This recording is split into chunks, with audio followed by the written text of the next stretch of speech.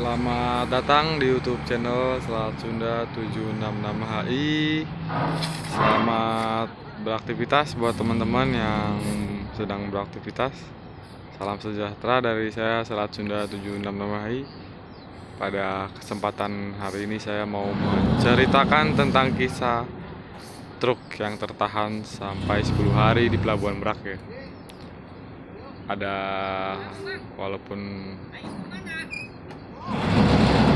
dengernya juga kasihan juga sih ya. 10 hari lo tertahan.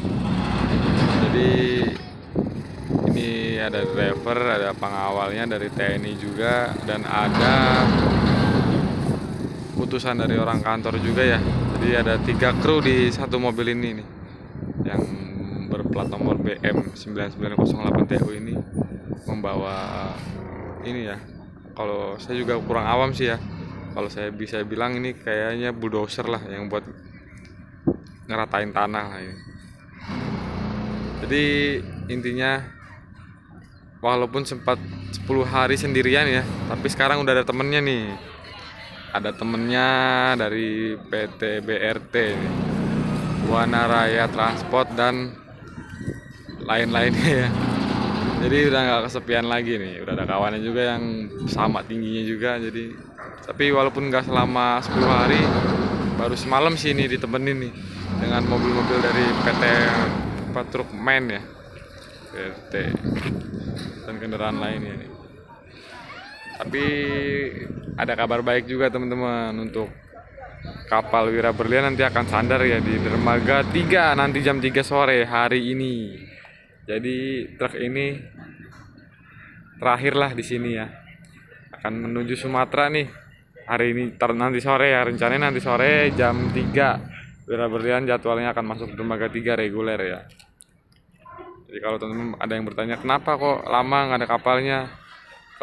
Ada sih kapalnya ya. Ada tiga kapal yang tertinggi di Selat Sunda ini. Yang terkenal tingginya yang pertama itu adalah kapal Royal Nusantara paling tertinggi di Selat Sunda ya. Keduanya Wira Berlian dan ketiganya SMS Agita untuk saat ini kan tiga-tiganya sedang anchor dan satunya Royal Nusantara sedang docking. Membutuhkan waktu lama ya kalau docking itu ya. Jadi mau nggak mau harus nunggu Wira Berlian nih. Kebetulan jadwalnya hari ini jam 3 sore akan sandar. Saya buat konten ini juga buat inilah kenangan juga nih buat terakhir yang tertahan 10 hari di Pelabuhan Merak sampai hari ini 10 hari ya. Hampir dua minggu berarti ya. Hampir dua minggu. Ini krunya ada tidur di dalam kabin mobil depan. Pengawalnya tadi. Pengawalnya tuh yang terlihat ya di ujung mobil. Dan ada juga dari di bawah alat beratnya itu ya di bawah bulldozernya itu ada putusan dari orang kantornya juga. Jadi ada tiga kru ya kebetulan ada kapal Raja Rakarta nih di tangan saya nih. Sudah alur masuk ke dermaga 4 ya.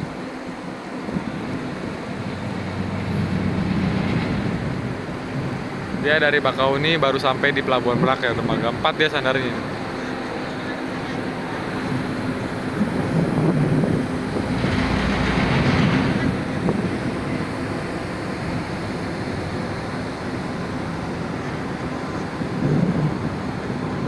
besar kapalnya besar ya ini milik PT Jemla itu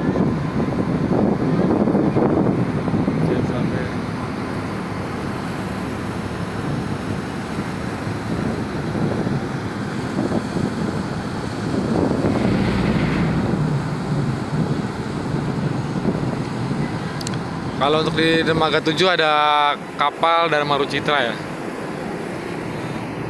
Dermaga tiganya ini ada Sera. Sera yang terkenal kapal transformer dibilangnya. Dan di lembaga duanya sudah ada alur masuk kapal Mitra Nusantara. Dan di dermaga ekspresnya sudah ada kapal Ligundi dermaga satunya ada KMP Joy. Itu informasi kapal untuk pagi hari ini. Dan untuk cuaca di pagi hari ini cukup cerah ya. Sangat cerah. Tapi kalau untuk ombak nggak ada ya. Arus yang agak kencang sih untuk pagi hari ini ya untuk mobil ini ya. Kita juga mau wawancarainnya kasihan ya. Tapi untuk krunya asik sih. Krunya buat krunya semoga diberikan ketabahannya dan selalu setia menjaga muatannya agar tetap aman ya. Kayaknya udah cukup aja teman-teman video dari saya ya untuk kisah drama atau kisah truk di Pelabuhan Merak. Sekian aja. Takutnya saya nggak bisa ngeliput nanti jam 3 sore ya. Jadi ini mungkin video terakhir untuk mobil ini. Sudah menemani kita ngonten. Teman-teman juga udah sering lihat ya kan? Sekian aja video dari saya. Saya akhiri dengan salam saya Salat Sunda salam sejahtera buat teman-teman semua. Semoga diberikan kesehatan selalu dan dimudahkan rezekinya. Amin ya robbal alamin